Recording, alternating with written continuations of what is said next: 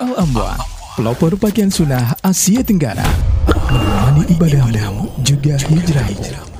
Selanjutnya kata Al-Imam Syaukani rahimahullah, "Wala li araqi zalimin haqqun." Tidak ada hak atas jerih payah orang yang berlaku zalim. Ya, misal ini biasanya eh, ada lahan kosong nggak diketahui pemiliknya siapa, dicari-cari info nggak tahu, udahlah daripada kosong mendingan saya garap. Ya, lumayan ini luas. Iya, ada ada seribu meter kali digarap, dipacul, terus ditanami uh, singkong misalnya. Nggak tahunya si pemilik tanah datang survei tanahnya takut udah dibangun atau diakuisisi orang, loh kaget dia. Kok tanah saya tiba-tiba jadi kebun singkong? Iya. Maka dia cari tahu siapa ini yang menanam singkong di sini di lahan saya. Akhirnya diketahui. Oh, bapak itu, bapak fulan dia masuk ke seperti itu. Nah, maka berdasarkan di sini yang nanam tadi nggak ada hak atas jerih payah dia. Jadi yang berhak siapa? Ya si pemilik tanah tersebut. Iya. Wah terima kasih ini. Ya jadi ada punya singkong saya. Tapi apa? Man zar'a fi ardi qaumin bighairi idnihim falaysa lahu min az-zar'i syai'un wa lahu nafaqatuhu. Ah, tapi ingat ya, yang nanam tadi punya hak juga. Bukan hasil dari apa yang dia tanam, sebatas apa yang dia sudah keluarkan biaya untuk penggarapan tanah tadi. Misalnya beli bibitnya berapa, beli pupuknya berapa, ya itu aja dikembalikan. Adapun hasil panennya, ya si pemilik lahan yang berhak, si pemilik tanah yang berhak. Iya. Makanya di sini disebutkan siapa yang menanam tanaman di satu lahan milik orang tanpa izin pemiliknya, ya Maka yang nanam tadi tanpa izin dia tidak mendapatkan apa pun dari apa yang dia sudah tanam tersebut. Iya. Dia hanya mendapatkan apa? Ganti rugi dari modal untuk proses penanaman di awalnya saja. Paham ya? Tapi kalau ternyata pemilik lahan mau berbuat baik, ya sudah, jangan diulangi lagi ya ini eh, apa silahkan kamu ambil panen hasilnya kita bagi dua.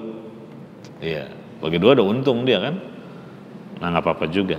Tapi kalau si pemilik lahan merasa kesel jengkel merasa nggak dihargai atau merasa dikuasai hartanya tanpa izin lantas dia ingin mengambil seluruhnya itu diperbolehkan Kenapa? Karena yang berhak adalah si pemilik lahan, si pemilik tanah.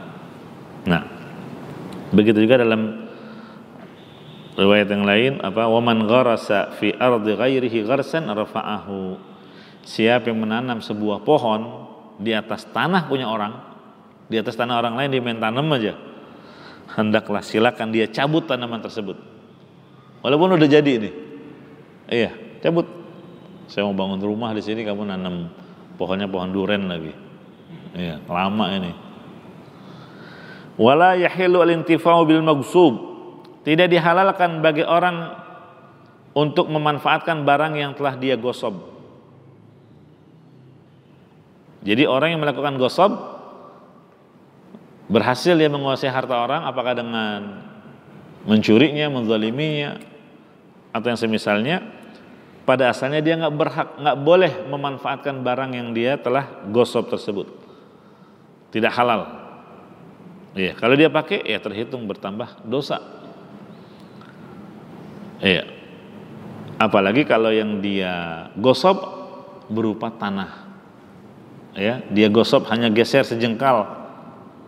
Kata Nabi sallallahu alaihi wasallam, "Man shibran minal ardi, tawwaqahu Allah min sab'i aradin."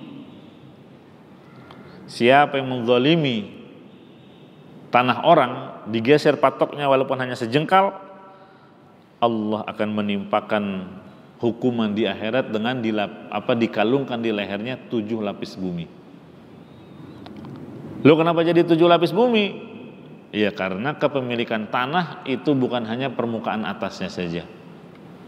Maksudnya tanah itu ada tujuh lapis ke bawah.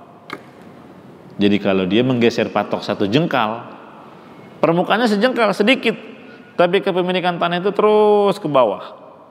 Makanya dikalungkannya jadi tujuh, tujuh lapis bumi. Begitu.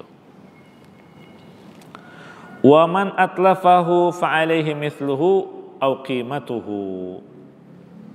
Ya, jadi ada kewajiban untuk mengembalikan barang yang telah dia gosob.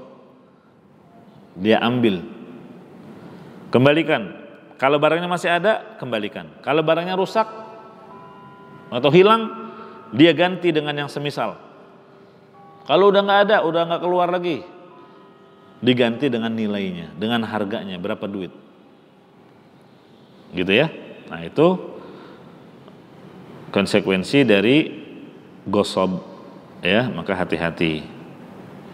Jangan sampai anda wafat dalam keadaan ada harta orang lain, ya, yang masih ada di tanganmu, yang belum kau selesaikan.